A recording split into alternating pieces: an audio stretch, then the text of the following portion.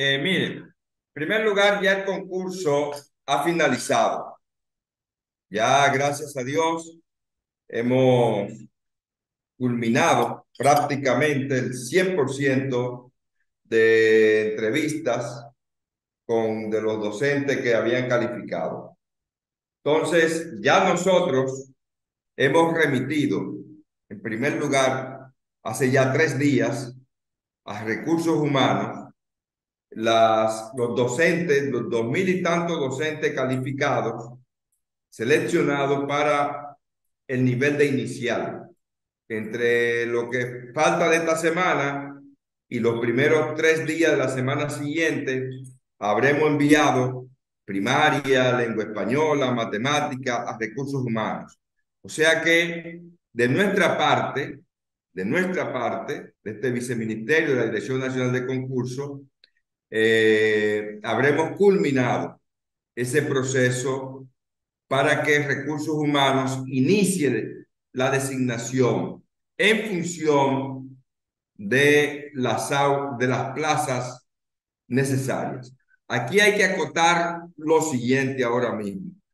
Se está desarrollando un proceso que lo está eh, bajo la responsabilidad del viceministro Oscar Amargós y, y la Dirección de Recursos Humanos de reordenamiento del personal docente.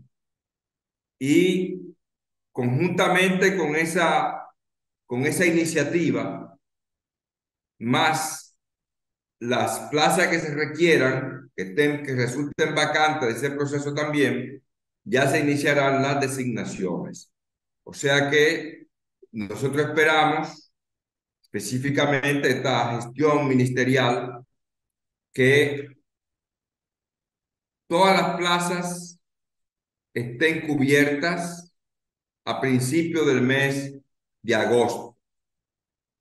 Es decir, que tendremos la, la, responsabilidad de dejar cada centro educativo con sus plazas eh, ya asignadas.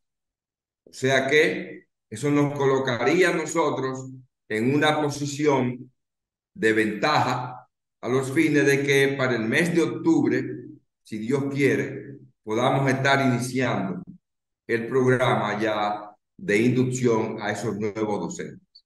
O sea que de nuestra parte, de la dirección de concurso, eh, eh, habremos cumplido con nuestra responsabilidad de presentar los docentes que fueron seleccionados para fines ya de su designación. Es decir, que esperamos que todas las plazas estén cubiertas para el mismo día de inicio del año escolar.